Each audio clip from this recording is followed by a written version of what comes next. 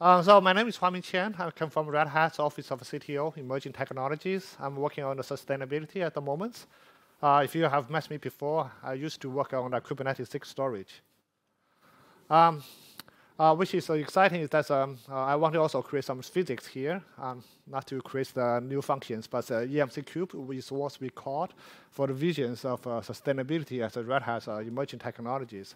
For the M, we are using the metrics, uh, specifically, that's what we're going to talk in this uh, uh, project, Kepler. So when you have the metrics about how much energy consumed by your workloads, that is very powerful information that you can use uh, in your configurations, in your schedulings, and in your reporting. So once um, that information becomes available, uh, the metrics information becomes available, we want to use it in workload scheduling. So one of the tricks, we, uh, one of the theories that um, when you're using your servers as the certain capacity and a certain utilization, the power per watt, the performance per watt is the optimal. Meaning that if you want to wrap up your Kubernetes clusters to 70%, for example, the CPU utilization, you probably get the best uh, power per performance per watt uh, curve. And we can use in that information in, in your scheduler to make a smart scheduling. And we are trying to use in that project called PEAKS to investigate such potentials. Um, you know, the projects going back and forth, but uh, we finally settled to using the existing Kubernetes plugins called Trimaran so that we can configure the servers to certain capacity and using Kepler metrics to advise the scheduler to make the scheduling such that the overall aggregates uh, cluster utilization, power utilization will be at the most optimal level. The next project is called Correction, uh, which we presented as last year's KubeCon, is that uh, we're using the Kubernetes vertical pod autoscaler, the VPA, and then you coupled with Kepler metrics, the power consumption metrics from the workloads, and then we dynamically tune the CPU frequency such that the higher, actually this is also has the background, the higher the CPU frequency, the higher energy is consumed. The lower the frequency and the uh, less power. But in order to maintain the same level of uh, quality of service, we set up the objectives. Uh, the objectives in using the clever is called um, uh, instruction per cycle. So the amount of CPU cycles that is to run your workloads will deterministically determine the quality of service that you will receive. In the same manner, if you are giving you more resources, then potentially you are using more to power your application the less resources, then you are going to have a less uh, more constraints to run your application. So as the higher CPU frequency, if you are maintaining the same level of uh, IPC, we give you less frequent, less resource, right? So in the same way, just keep the mind working. The more the higher CPU frequency, the less resource. That means that the, the, uh, the amount of energy consumed will still be reduced because you are using less frequency, less resources, even you are using, running at high frequency. Uh, vice versa, if you are running at lower frequency, we give you more resources, more CPU cycles.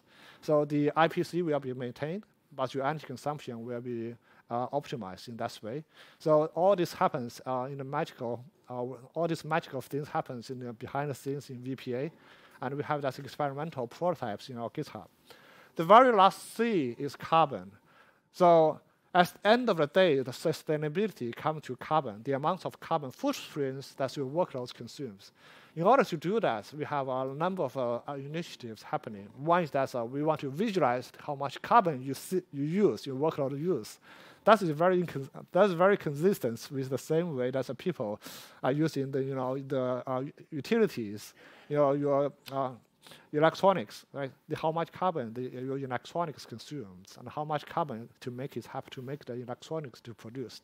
The same way we are using uh, carbon accounting. The other way using carbon is that uh, when you visualize the carbon as different geographic locations, there's certain differential uh, deltas, right? Depends on time of your day, your carbon footprint from electricity grid is not the same. Surprisingly, you are using the same electricity grid, but the carbon intensity is different. And similarly, if you are running at different locations, there are also as different um, deltas. So let's come to the uh, project Kepler. So what Kepler is about? Kepler is, uh, stands for Kubernetes Efficient Power Level Exporter. It's using the eBPF as the uh, underlying uh, technology to collect information from your hardware, from your workloads, and then use the machine learning models in the background to calculate the energy for you. This is very diverse and highly collaborative projects uh, started by Red Hat, IBM, Intel, and a number of uh, uh, and Weaveworks and uh, many of the other community contributors. We recently donated IB, um, the Kepler projects to CNCF for sandboxing, and hopefully we can have more contributions from the people around the world. So if you uh, scan the QR code here, there's a website uh, for Kepler, and there's a Slack channel. You're all more than welcome to join the project. So currently, Kepler supports a, a number of uh, granularities of uh, energy uh, consumption. So we can uh, tell you how much energy used by your processes, your containers, your pods, and hopefully, potentially, we can also aggregate to the certain higher level APIs. We currently support CPU level, GPU level, and DRAM level energy consumption. Uh, we are hopefully in the next release or two, we are going to support um, your networking storage and other accelerators, special accelerators. And we're also going to use the external power sources from your network switch, your certain other um, hardwares used in the data center. We currently support bare metal and virtual machines, meaning that you are using the same infrastructure, same metrics, and you can get energy consumption from your, uh, from environments, regardless where your workload runs. And we are potentially going to support the encrypted, the trusted execution environments that's running your uh, encryption, uh, encrypted enclaves uh, called TEE. Um, this is one of the dashboards we built. Uh, I'm not an artist, uh, so I just briefly explain what this uh, is about. So on the left side of the panel, on the top left side, is the carbon. So as I said, there's a different uh, fluctuations as during certain times of the day. We can break down the carbon consumption into different levels uh, consumed by your hardwares. Um, this is a little bit small if you are looking at the, the green side. This is the CPU package, and the, um, the yellow one is the DRAM. And the bottom one is because we are not using GPU at the moment, so you do not see any of the activities over here.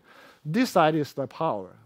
So uh, power is uh, collected by Kepler, so we can collect at the node level, at your server level. We can also uh, also collect at your namespace level, and it's uh, also going to the, the, the pod. But the namespace is good aggregation. Uh, you can have a lot of visuals. If you create different namespace, create a different tenants based on your namespace, you can visualize over here. On the bottom, we translate that into the amounts of carbon footprints are related to your workloads. Uh, so, you know, certain, this is very small setup, by the way, so we can have better visuals. So on certain namespace, you can have higher energy consumptions, and well, uh, you can also have the higher carbon footprint. That is for your, um, so this is one example of how you can visualize work workloads, energy, as well as your carbon. Um, so you can also create other workloads and all, uh, other dashboards based on your, your requirements, and that is uh, also supporting the environment as well. All right. Thank you.